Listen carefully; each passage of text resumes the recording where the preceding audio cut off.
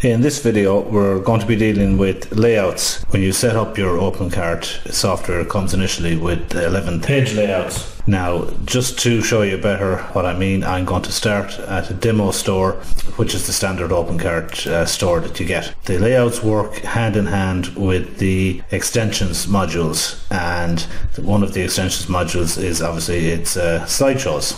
So here we have the module enabled on the home page. Another module then is featured and this is enabled here on the home page. Another module then is carousel and this again is enabled on the home page.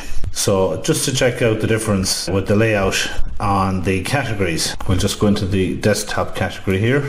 And the layout here on the desktop category, we have the categories module shown here, uh, left hand navigation and we have a banner here showing the uh, little Hewlett Packard banner. So that's a banner that can be anything, of course, of your choosing. Uh, this additionally, this could be slideshow, etc. And this is our categories page, and so we have our list of products here on our categories.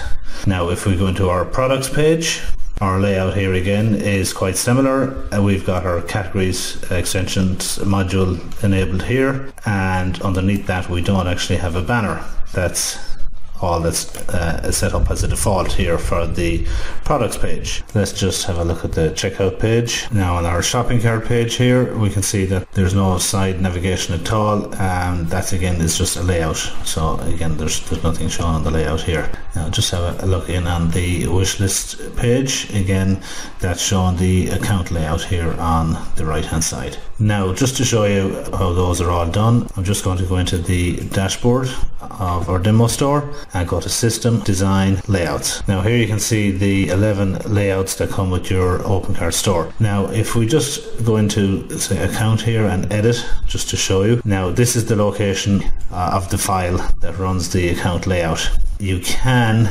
design your own layouts, but creating a, a layout page from scratch uh, takes some knowledge or a little bit of knowledge of web design and development. Certainly, if you're a beginner, uh, you don't need to worry about layouts as uh, the default layouts uh, system should be good. So, the general rule of thumb if you're creating a category, then in the design tab, you would uh, certainly want to make the layout override here as category. Now, you can set up just, for instance, you can set up a, a default layout for the whole site and control the layout uh, via the modules but it's certainly a lot easier if you do it with layouts say the information pages. There's no layout other than the text that you put in um, that is the layout I suppose effectively. So you could actually have uh, like a specials banner or a features banner or something at the bottom or at the top or even down the two sides. So I'll just show you what I mean by that.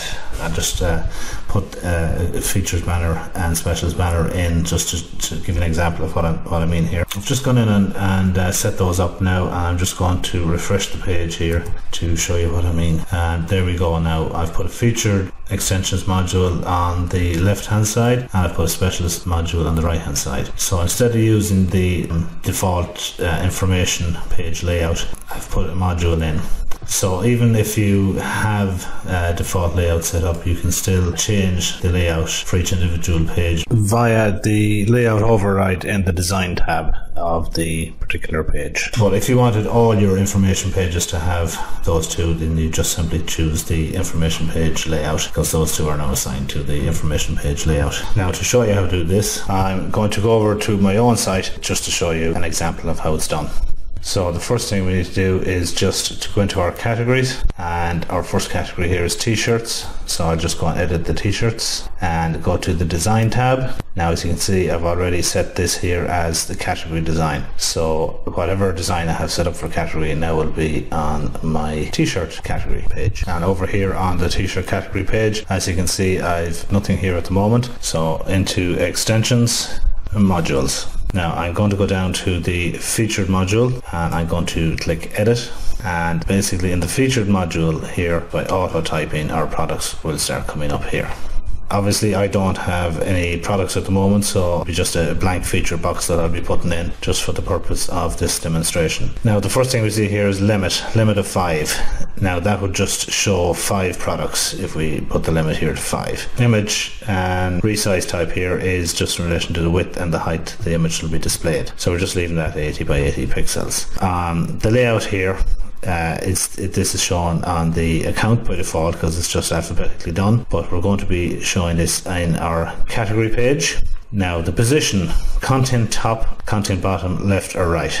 So I'm just going to put in content bottom and again the status is uh, I'm going to have that enabled now if this is the first module I'm putting in, I'll just put the sort order of one on this. Then we simply click save here. Then we go to our storefront then we'll go into our t-shirts and as you can see we've now have a feature box on our t-shirts. So the layout here is assigned basically to the categories. So if I just go and create another category, uh, make sure that we have our category selected here for our layout override and click save. Then we go back to our storefront and refresh it or you can click the banner actually to go to your home page on your storefront at any time. Now as you can see we have hoodies again as we see the featured layout is here.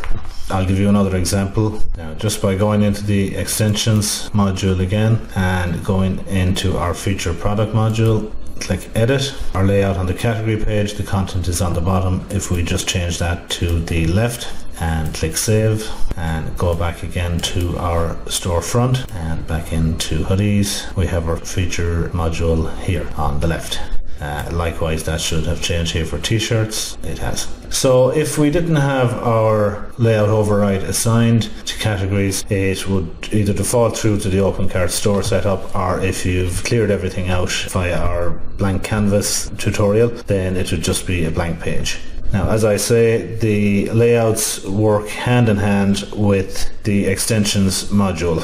So it's worth just going into the extensions module uh, tutorial just to show you the various uh, modules and what they do and, and the layouts and the setup of those modules.